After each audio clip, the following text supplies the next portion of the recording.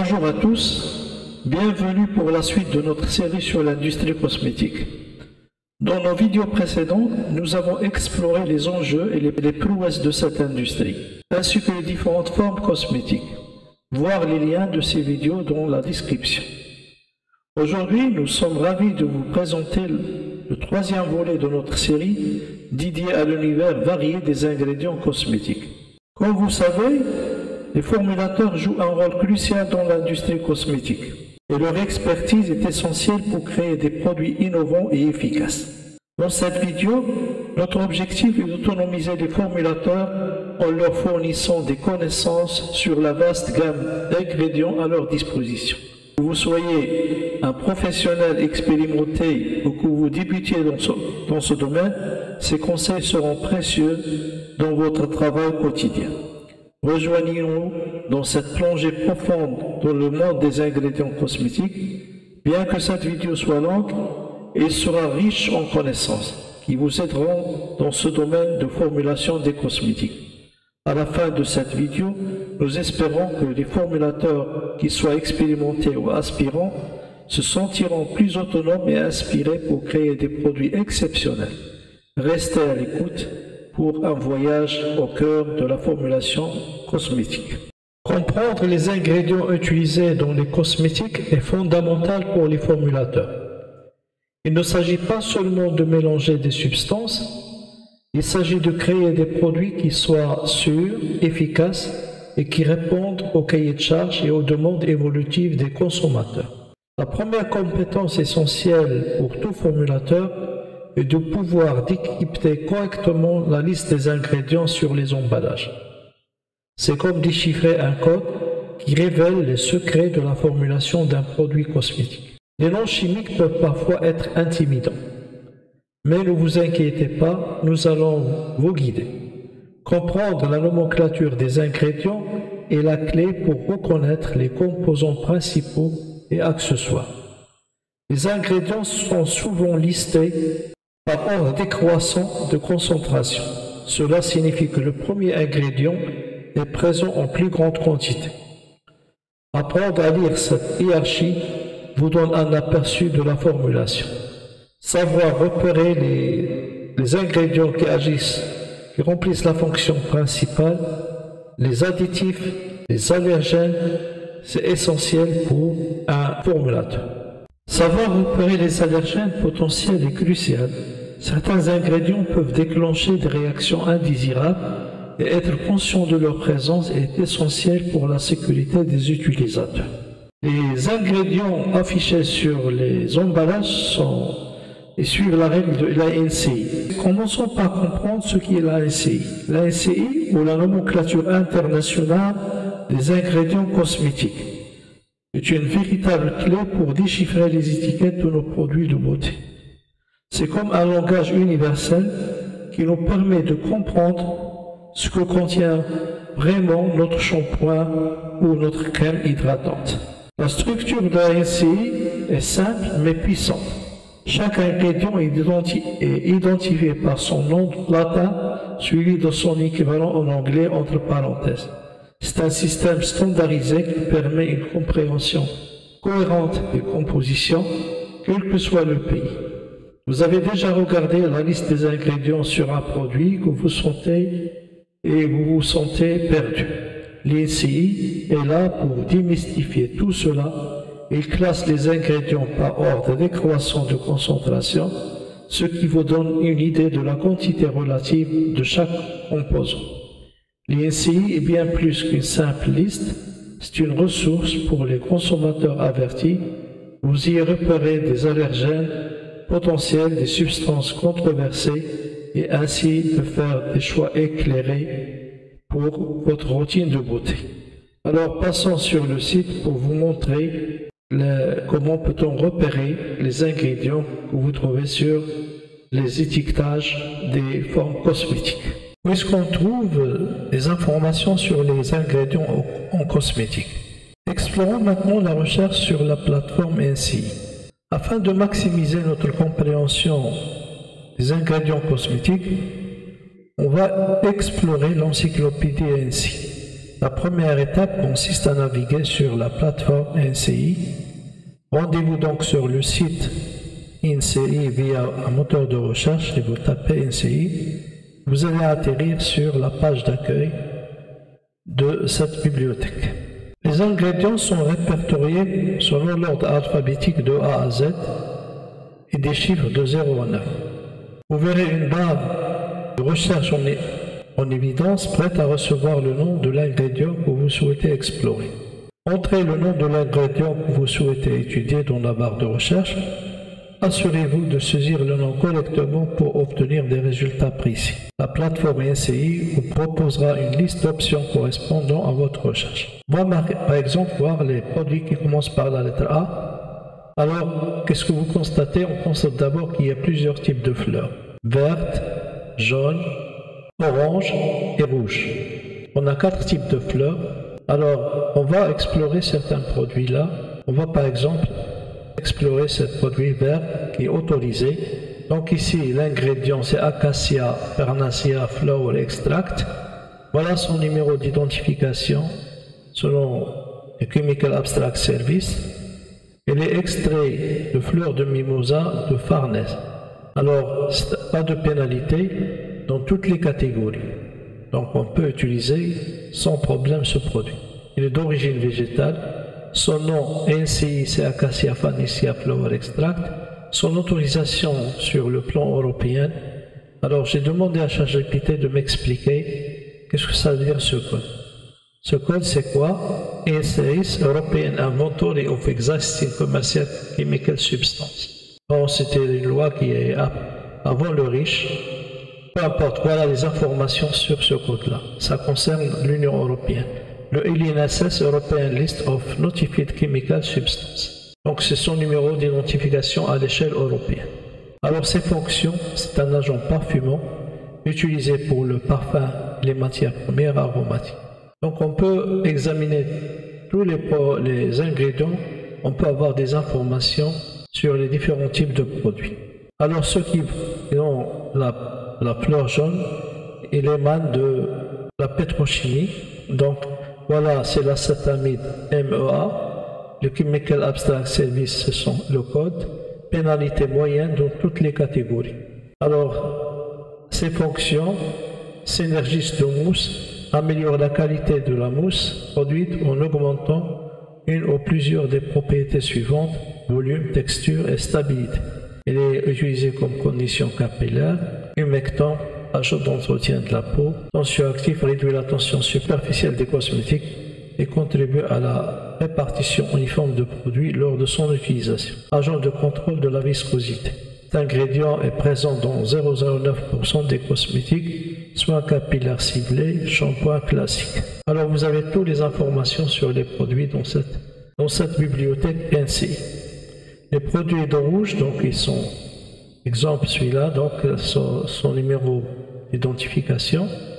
Alors une pénalité forte dans toutes les catégories, donc pratiquement il est déconseillé. Donc agent masquant réduit au niveau l'odeur ou le goût de base de produit. Donc à éviter dans la mesure de possible. Alors une fois que vous avez saisi le nom de l'ingrédient, explorez les résultats de recherche, vous verrez le nom de l'ingrédient, suivez des détails tels que sa fonction, sa provenance et parfois des informations sur son profil et sa, sécurité. La plateforme SCI vous expliquera comment cet ingrédient contribue à la formulation du produit cela peut inclure les propriétés hydratantes, émollientes, nettoyantes, parfumantes, etc. Alors il vous indique aussi la provenance du produit, est-ce qu'il est naturel ou synthétique, et aussi des indications sur la sécurité. Alors la plateforme SCI est une plateforme qui permet de alors la plateforme SCI permet d'utiliser les ingrédients d'une manière responsable. Considérant les informations dans leur contexte, cela aide à faire des choix éclairés et à contribuer à une consommation responsable. Décryptage des ingrédients cosmétiques avec les applications. Avec le développement numérique, il existe actuellement des applications informatiques qui décryptent les ingrédients dans des produits cosmétiques. Donc, dans un monde de plus en plus connecté, ces applications deviennent des outils indispensables pour tout amateur de cosmétiques soucieux de ce qu'il applique sur la peau. Commençons par comprendre ce que sont ces applications. Ils sont conçus pour vous aider à décoder la liste des ingrédients sur les emballages, offrant une analyse détaillée des composants qui composent vos produits préférés. Le fonctionnement est simple, il vous suffit de scanner le code barre de votre produit à l'aide de l'appareil photo de votre smartphone.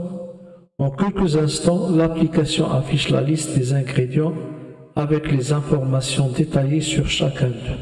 Parmi ces applications, on trouve ainsi Beauty, Claire, Clean Beauty, Cosmetics, Cosmetic, quel cosmétique, etc.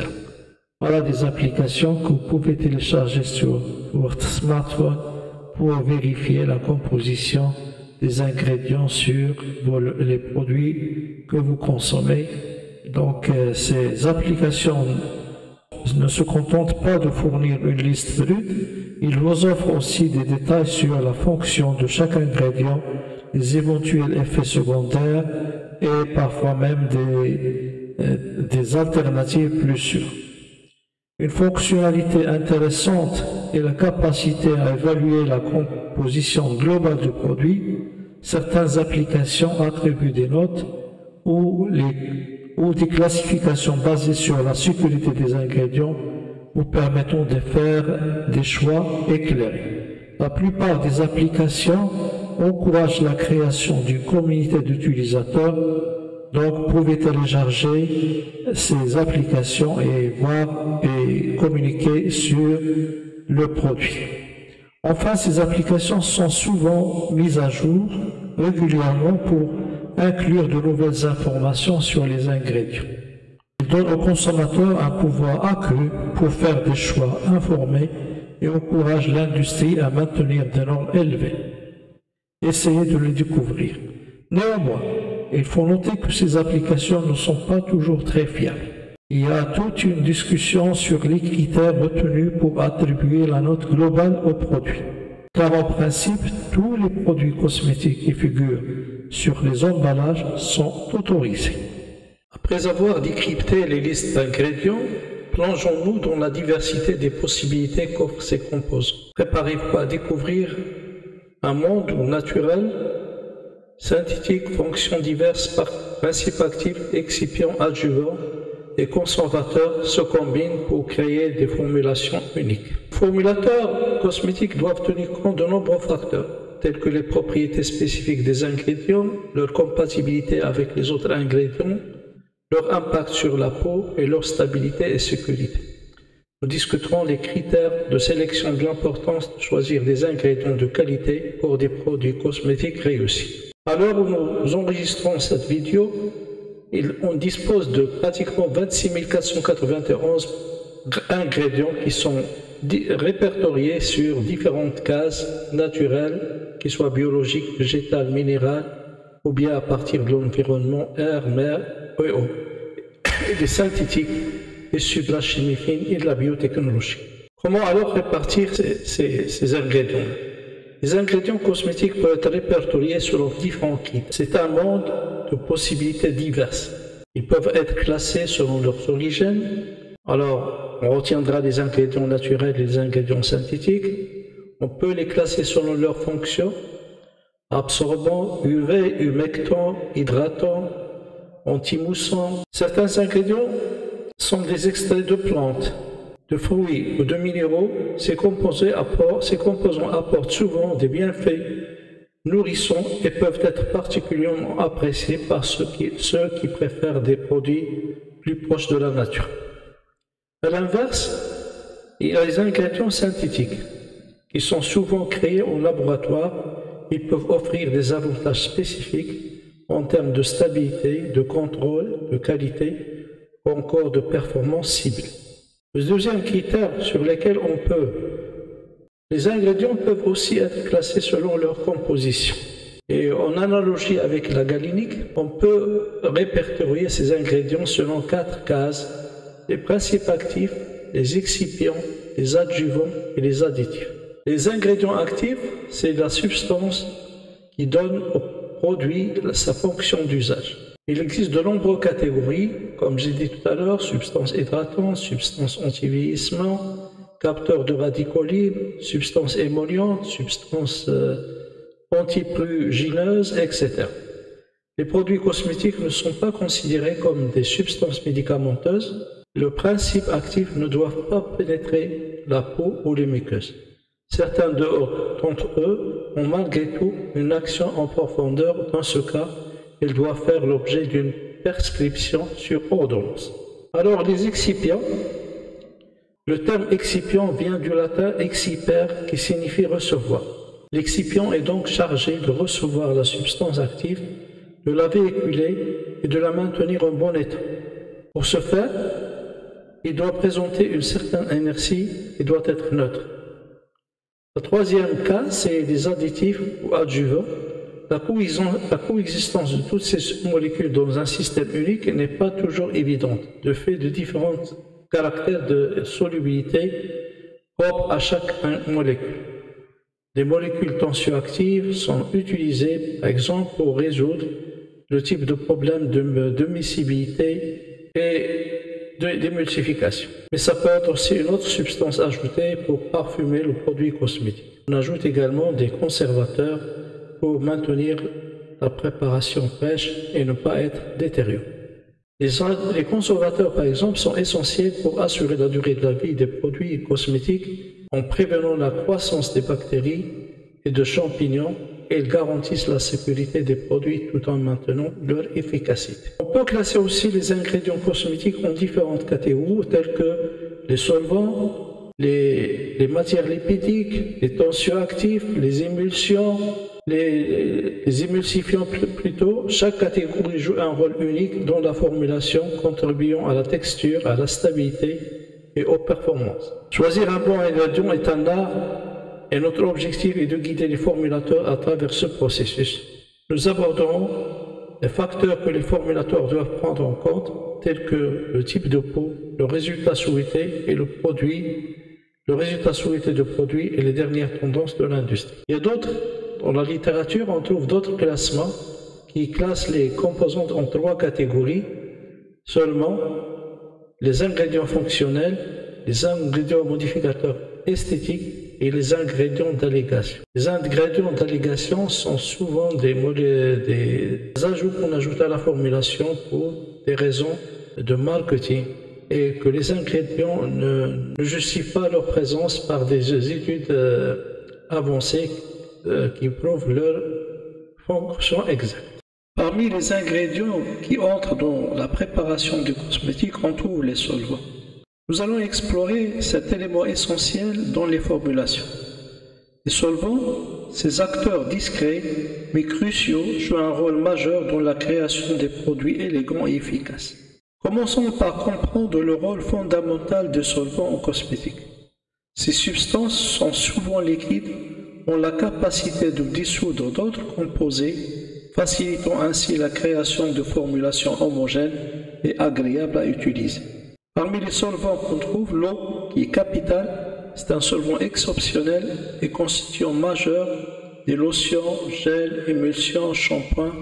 Ce eau doit être purifié et stérilisé. D'ailleurs, il y a des dispositifs spéciaux pour la préparation de l'eau pour les cosmétiques. On trouve aussi les hydrolats tels que l'eau de rose, l'eau de fleurs, d'oranger, etc. qui sont utilisés dans les préparations cosmétiques. On trouve aussi les alcools, les alcools, l'éthanol, qui intervient dans la parfumerie, dans les lotions et les gels. Il a un effet rafraîchissant et il joue aussi le rôle de conservateur. Il est généralement utilisé à des concentrations supérieures à 20%. Propylène et la glycérine ont effet humectant et hydratant. Propylène glycol on le trouve dans les émulsions, les sticks, les déodorants. C'est aussi, un solvant pour la préparation, des extraits végétaux. La glycérine, il joue le rôle d'humectant et d'hydratant. On trouve aussi les solvants lipidiques tels que les huiles végétales et les esters par exemple. Parmi les esters utilisés dans la fabrication des cosmétiques, on trouve le diisopropyl adipate. C'est souvent utilisé comme agent émollient dans les produits de soins de la peau et les produits capillaires. L'isopropyl palmiate, l'éthylacétate, le propylacétate, l'éthylpalmiate, l'isopropylméristate, l'éthylbuacétate. Ces différents solvants interviennent dans beaucoup de préparations cosmétiques qui améliorent la texture et qui sont utilisés comme solvants dans certains produits cosmétiques, notamment les vernis à ongles et les formulations des produits personnels.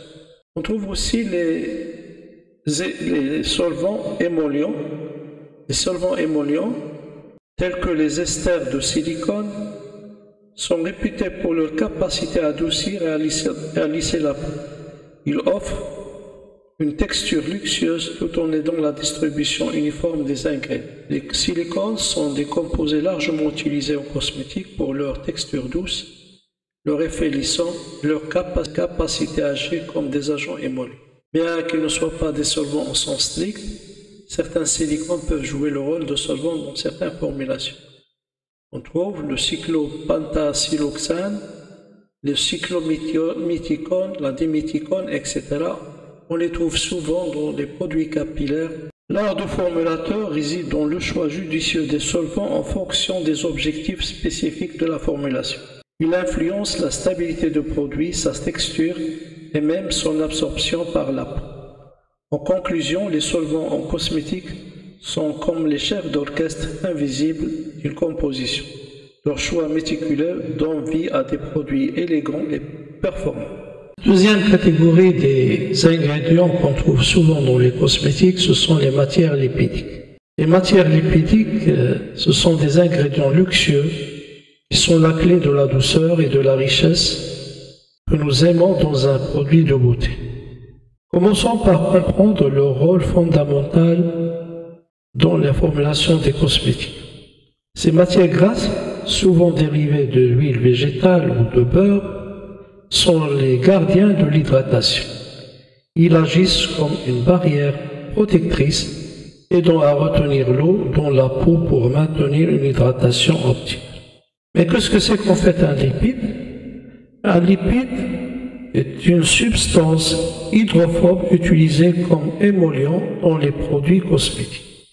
Il améliore la sensation cutanée et l'apparence des produits tout en offrant divers avantages tels que l'augmentation de la propagation, la modification de la viscosité et la création d'une barrière occlusive sur la peau. Les acides gras essentiels qui sont présents dans des huiles comme l'huile d'argan, l'huile d'olive, l'huile d'ongre, sont des alliés parfaits pour maintenir la souplesse de la peau. Ils participent activement à la régénération cellulaire et à la prévention de signes de vieillissement. Parmi ces produits-là, on trouve l'acide oléique, l'acide linoléique, ils sont des acides gras essentiels et qui interviennent aussi dans les facteurs de consistance pour donner euh, la texture et l'onctuosité aux produits cosmétiques euh, fabriqués.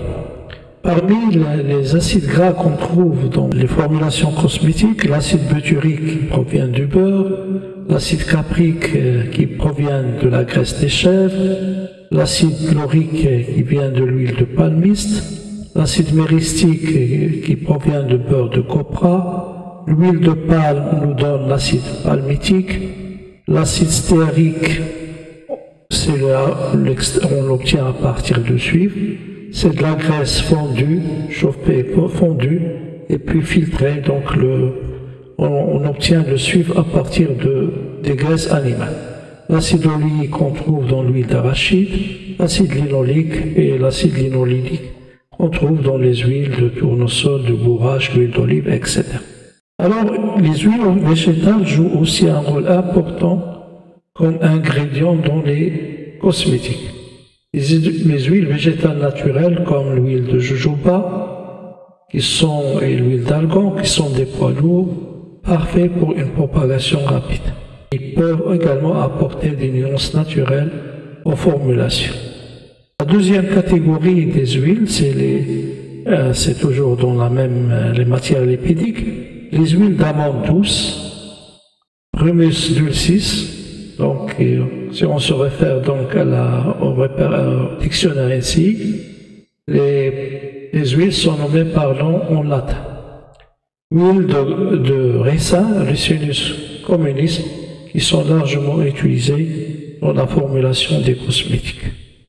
On trouve aussi l'huile de bourrache, qui est très adoucissante, très riche en acide gras, mais il a un prix élevé. Il est utilisé à des faibles doses de 2 à 3% et quand il, a la propriété d'être très actif à ces concentrations. L'huile de jojoba, Simonsia chinesis, aussi l'huile d'argan qui est mondialement connue et qui est une source endémique au Maroc. On trouve dans les matières lipidiques aussi les beurres qui donnent la consistance pâteuse ou solide et ont, les mêmes propriétés que les huiles. On trouve le beurre de karité, shea butter, beurre de copra, huile de coco, qui, sont liquides à qui est liquide à 27 degrés. Les lipides ne sont pas uniquement des ingrédients nourrissants, et aussi des architectes de la texture. Les émulsifiants et les agents structurants dérivés des lipides contribuent à la consistance et la stabilité des formulations cosmétiques. Les lipides, l'univers des lipides et en cosmétique ne cesse de se réinventer. Des lipides encapsulés aux nouvelles formes d'huile légère, les innovations offrent des possibilités infinies pour créer des textures modernes efficaces. En conclusion, les matières lipidiques en cosmétique sont bien plus que des ingrédients, sont des... En conclusion, les matières lipidiques en cosmétique sont bien plus que des ingrédients, sont des poèmes pour la peau, apportant une élégance Dans les formulations cosmétiques, on trouve aussi les cires.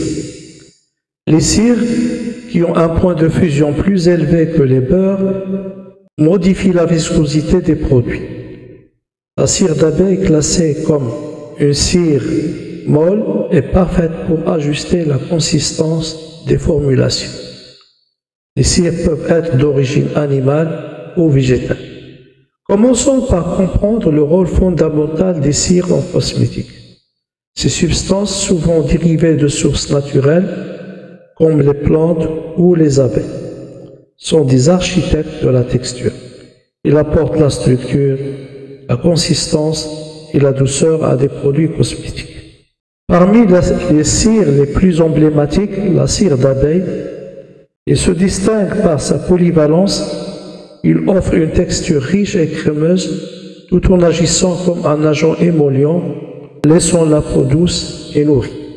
Il ajoute aussi un plus pour, comme, dans le facteur de consistance dans les émulsions eau, dans l'huile et dans les rouges à lèvres.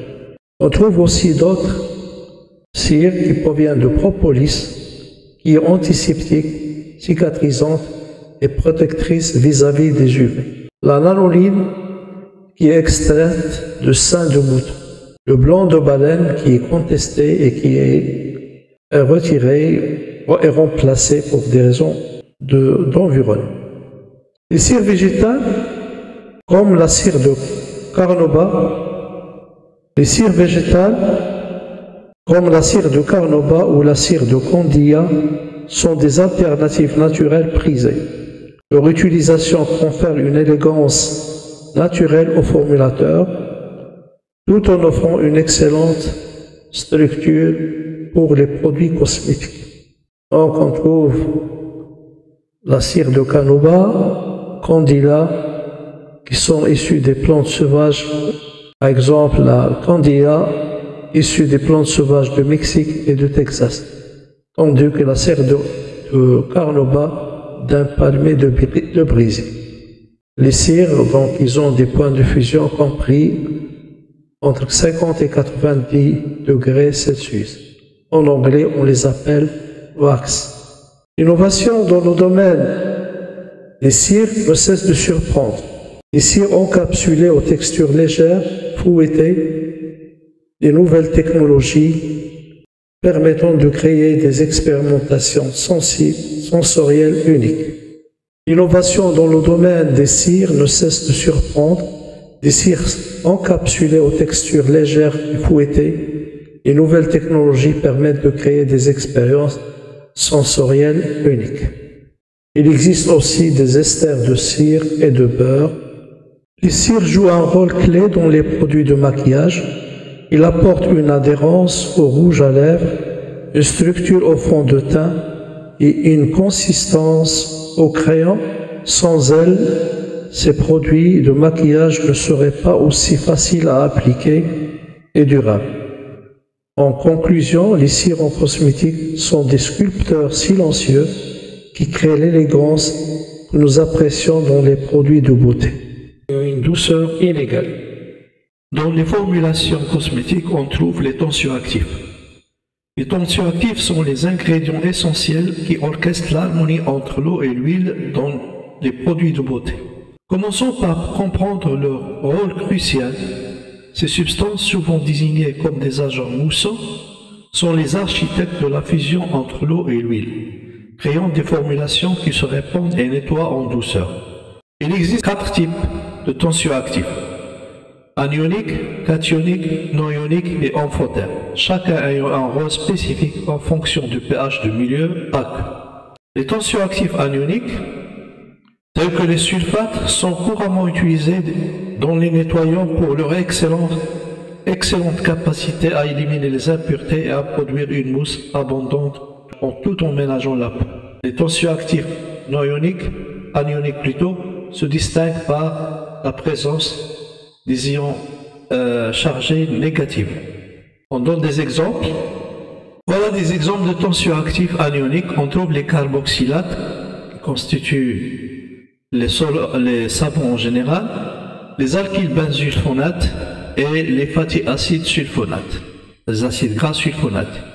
On trouve également les surfactants de la série des sulfosuccinates diester et les sulfosuccinates monoester. La deuxième catégorie des surfactants sont les tensioactifs cationiques. Les tensioactifs cationiques sont présents dans les produits de conditionnement capillaire, offrant une sensation de conditionnement agréable. Les quartz, c'est-à-dire les ammoniums quaternaires qui, qui ont une charge positive dans leur tête polaire, sont très utilisés comme tensioactifs cationiques. Tensioactifs cationiques de type quad, des ammonium quaternaires, sont très appréciés pour leurs propriétés de soins et de conditionnement. On les retrouve souvent dans les après-shampoings et, les produits de, et les produits de soins capillaires. Alors, les exemples, on a les ammonium, les esters qui sont très utilisés, le, benzalkonium chloride, qui est très réputé par son effet antibactéricide, et donc, il est utilisé dans pas mal de, formulations, à la fois comme tensioactif et comme conservateur, antibactérien. Il y a aussi les étoxylated quaternary, c'est-à-dire les ammonium quaternaires étoxylés, qui sont souvent utilisés dans des formulations cosmétiques avec les dialkyl, les quaternary dialkyl ammonium. Les tensioactifs non ioniques qui améliore la douceur après le lavage. Les tensioactifs non ioniques offrent une douceur particulière et sont souvent choisis pour les produits destinés aux peaux sensibles. Leur polyvalence les rend adaptés à une variété de formulations. Certains, comme le polysorbate 20, sont utilisés comme solubilisants pour disperser les matières huileuses dans les produits à base d'eau. La dernière catégorie des tensioactifs, c'est les amphotères. Les tensioactifs amphotères offrent une polyvalence équilibrée, s'adaptent à une gamme de conditions. Leur capacité à fonctionner dans des, environnements, acides ou basiques en fait des ingrédients précieux dans de nombreuses formulations. Les tensioactifs amphotères utilisés dans les mêmes produits que les anioniques améliorant la douceur et augmentant la mousse. Ils se comportent différemment selon le pH. Ils se comportent comme anionique lorsqu'on est pH basique et comme cationique lorsqu'on est à pH acide.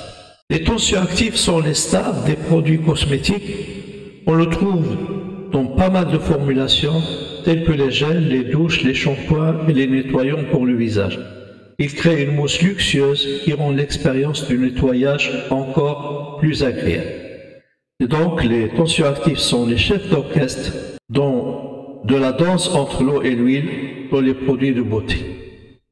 Leur capacité à créer une harmonie délicate est la clé de la formulation efficace et agréable.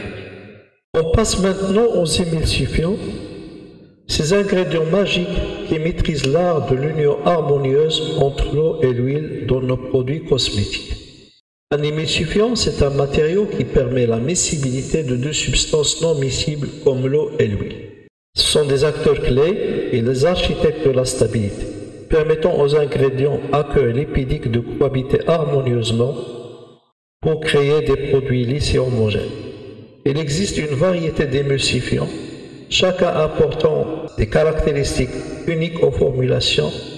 On trouve des émulsions, les émulsifiants qui peuvent être naturels, synthétiques et sous forme de polymères. Le naturel, on trouve l'émulsifiant, la lécithine qui se trouve dans le jaune d'œuf et dans l'huile de soja. On trouve également des séries d'émulsifiants qui soient, sont soit cationiques, anioniques, non ioniques ou ioniques. Le sorbitane ester qui est un, émulsifiant non ionique, le glycyréstéadate, le PG40 hydrogéné qui provient de l'huile de ressa, bon, qui a communément appelé le PEG40 hydrogenated castor oil. On trouve également les surfactants non ioniques, tensioactifs non ioniques tels que le polysorbate 20, le 60, le 80, etc. On trouve aussi les, les émulsions, les anioniques tels que le sulfate, le sodium lauryl sulfate et le sodium lauryl éther sulfate, les cationiques surfactants, les tensioactifs cationiques tels que les ammonium quaternaires et les amphotères, les tensioactifs amphotères tel qu'on a vu dans la partie des tensioactifs. Alors la lécithine, il est extraite de l'huile de soja ou bien de l'huile de euh, jaune d'œuf.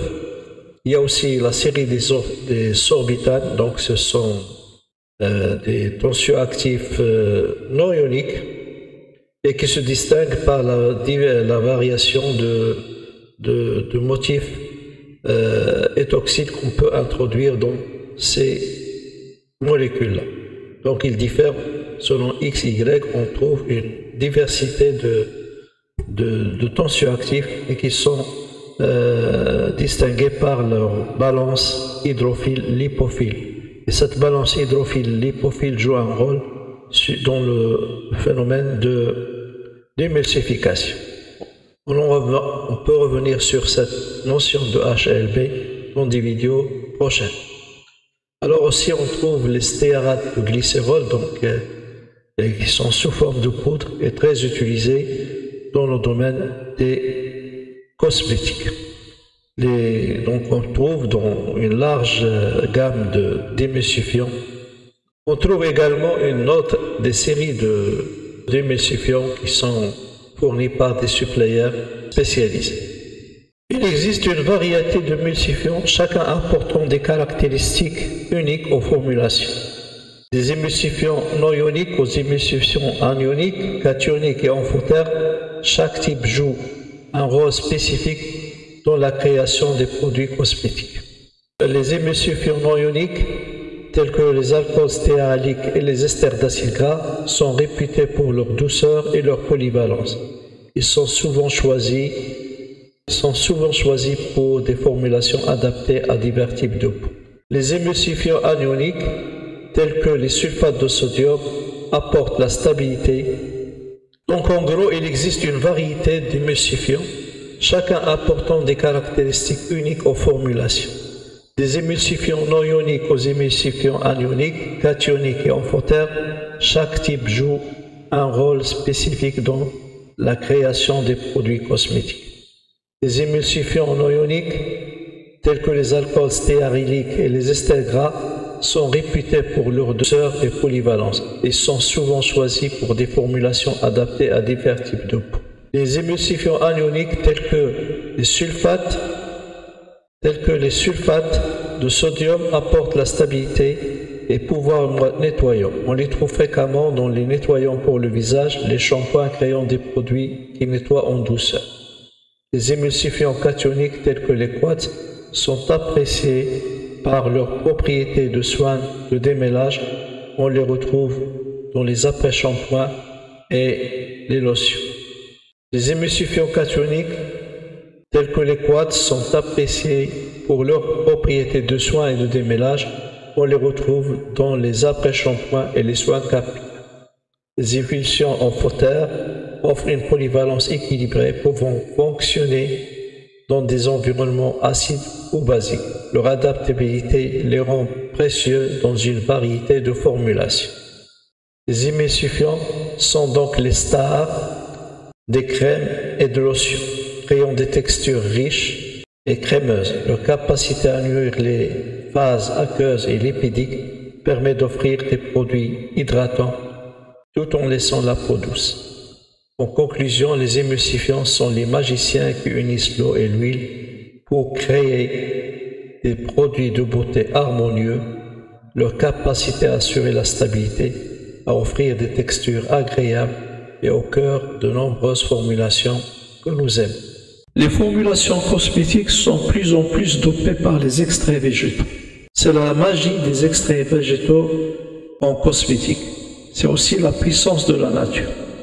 Ces ingrédients naturels qui apportent la puissance de la nature à nos produits cosmétiques. Commençons par comprendre le rôle essentiel des extraits végétaux en cosmétique. Ces trésors naturels issus des plantes, de fleurs, d'herbes, sont riches en nutriments, antioxydants et autres bienfaits qui nourrissent et revitalisent peau. Les extraits végétaux sont souvent reconnus pour leur contenu élevé en antioxydants. Ces puissants composés aident à neutraliser les radicaux libres, protègent ainsi la peau des dommages causés par l'environnement et contribuant à prévenir le vieillissement prématuré. De nombreuses plantes sont utilisées, telles que l'aloe vera, qui apporte l'hydratation intense et un apaisement de la peau, la camomille anti-inflammatoire et apaisant, le thé vert antioxydant puissant, lutte contre les signes de vieillissement.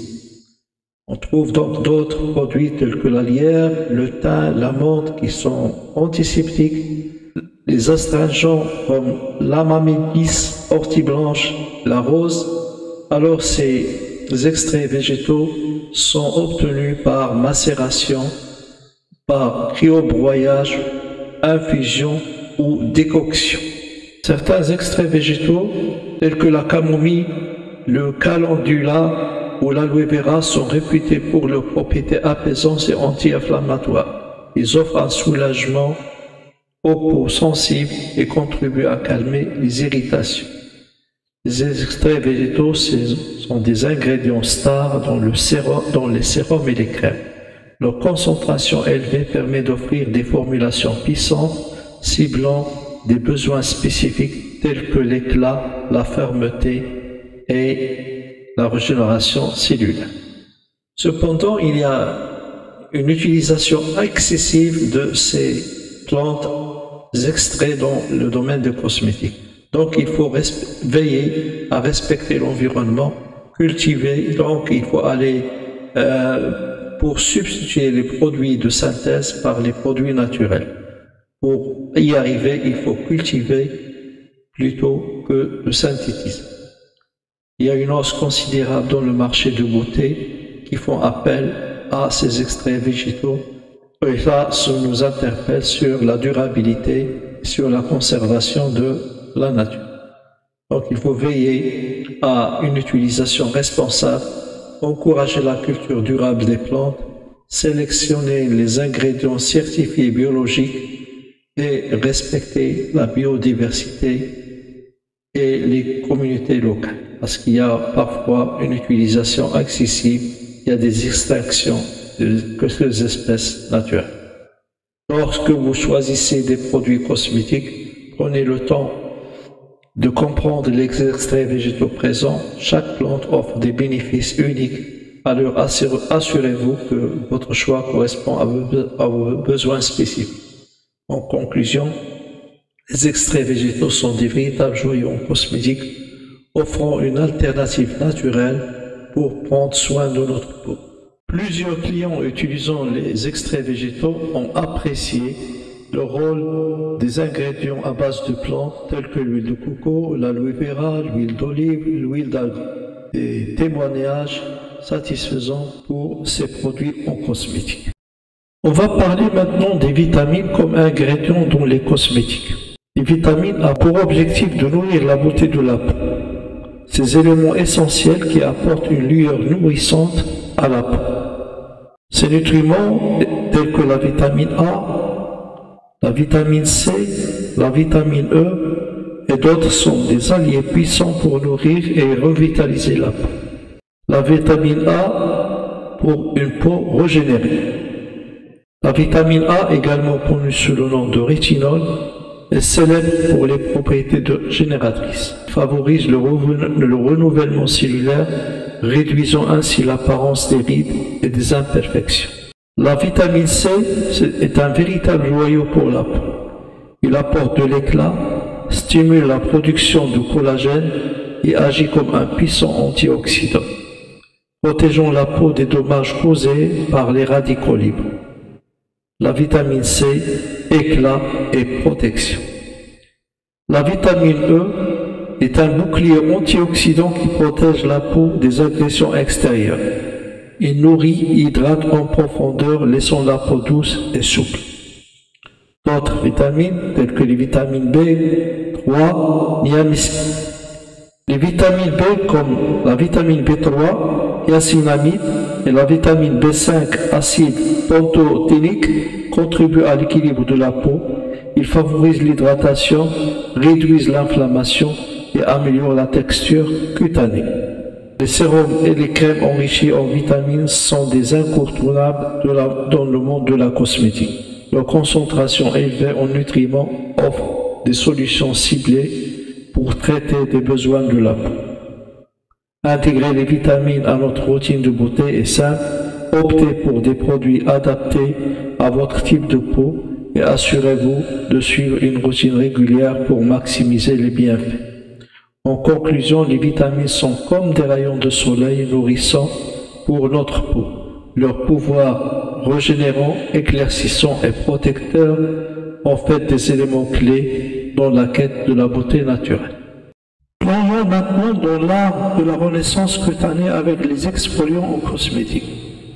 Les exfoliants sont, les sculpteurs de renouveau. Commençons par comprendre leur rôle essentiel en cosmétique. Ces sculpteurs de renouveau éliminent délicatement les cellules mortes, révélant une peau plus lisse, éclatante et prête à accueillir les bienfaits des soins. Les exfoliants peuvent être physiques ou chimiques. On va se concentrer sur les exfoliants chimiques. Mais dire un mot sur les exfoliants physiques. Les exfoliants physiques utilisent des particules fines pour polir la peau en douceur. Des grains naturels tels que le sucre ou la poudre de noyau de fruits offrent une exfoliation mécanique tout en respectant la sensibilité de la peau. Les exfoliants chimiques, quant à eux, utilisent les acides doux tels que l'acide glycolique ou l'acide salicylique pour dissoudre les cellules. Les ingrédients actifs sont capables donc d'interférer avec les liaisons cutanées, de rompre le ciment lipidique qui lie les cellules entre elles pour les éliminer. Ces exfoliants chimiques peuvent provenir des acides hydroxylés ou des enzymes. Alors les, acides hydroxylés les plus utilisés dans l'exfoliation sont les achats, acide alpha-hydroxylé, qui contient de l'acide glycolique, l'acide lactique, l'acide mandylique, l'acide citrique tatrique, malique. Les achats sont photosensibles au rayonnement UV. Les BHA, les, acides bêta-hydroxylés, ce sont l'acide salicylique qui est lipophile, congestionne les pores de la. Les BHA sont protecteurs. On trouve également comme exfoliants les PHA, les acides polyhydroxylés, l'acide lactobionique, gluconate, gluconolacto. Alors les PHA sont sensibles. Voici les structures de quelques acides, l'acide glycolique, l'acide lactique, l'acide mandylique, l'acide malique, l'acide citrique et l'acide tartrique. Alors le PHA, l'acide salicylique, propriété anti-inflammatoire, il est soluble dans l'huile. Le PHA, gluconolactone, voici la structure acide, sa structure, et l'acide lactobionique, voici la structure. Les exfoliants chimiques utilisent des acides doux, tels qu'on a vu, pour décongestionner les ciments lipidiques qui existent, et entre les pores de la peau. Il est crucial d'adapter l'exfoliation à votre type de peau. Les peaux sensibles peuvent préférer des exfoliants doux et naturels, tandis que les peaux grasses peuvent bénéficier d'une exfoliation chimique pour réguler la production de sébum. L'exfoliation régulière est la clé pour maintenir une peau éclatante. Elle prépare la peau à absorber plus efficacement les soins, réduit l'apparence des pores et contribue à atténuer aux imperfections. Les conservateurs en cosmétique. Commençons par comprendre le rôle fondamental des conservateurs en cosmétique. Ces gardiens de la fraîcheur sont des ingrédients essentiels qui préviennent la croissance de micro-organismes indésirables, assurant ainsi la sécurité et la durée de vie des produits. La stabilité des produits cosmétiques est cruciale pour garantir leur efficacité et sécurité. Les conservateurs empêchent la prolifération des bactéries moisissures et levures qui pourraient altérer la qualité de produit et présenter un risque pour la santé.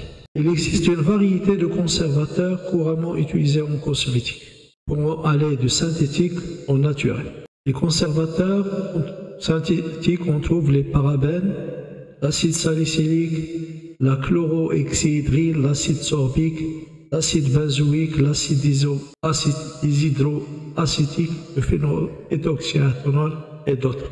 On peut aussi avoir des conservateurs naturels tels que l'huile essentielle de thym, l'huile essentielle de romarin, l'huile essentielle de lavande, l'huile essentielle de citron, des extraits de pépins de pamplemousse, etc. Chaque choix est guidé par la recherche d'une stabilité optimale. Bien que la tendance vers des formulations plus naturelles soit présente, formuler des produits sans conservateur présente des défis.